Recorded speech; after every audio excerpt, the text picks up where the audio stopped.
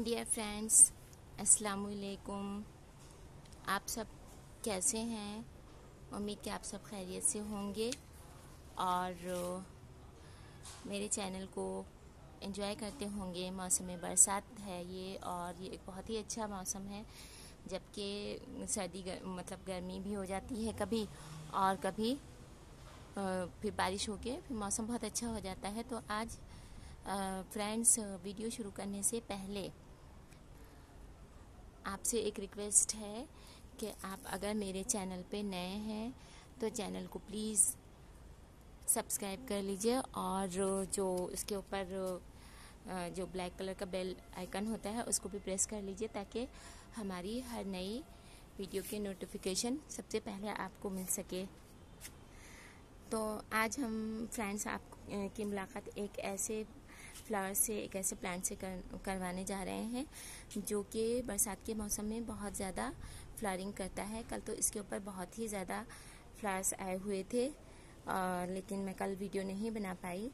और आज मैं आपके लिए इसी टॉपिक पर इसी प्लांट पर इन्हीं फ्लावर्स के बारे में बताने जा रही हूँ कि प्लांट्स कैसे ग्रो किए जा सकते हैं अपने गार्डन में।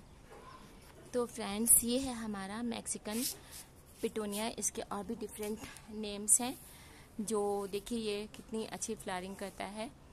अभी मैं और भी आपको नेम्स इसके बताती हूँ।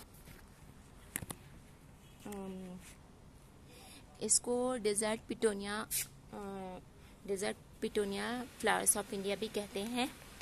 और, इसे वायलेट वाइल्ड पिटोनिया और मैक्सिकन मैक्सिकन पिटोनिया भी कहते हैं। और ये पिटूनिया की ही एक किस्म है।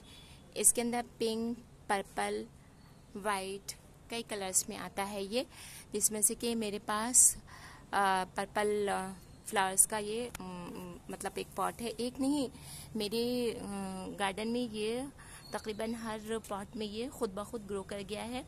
ये बहुत ही ज़्यादा आसानी के साथ ग्रो करता है। ये सीड्स से भी लग जाता है।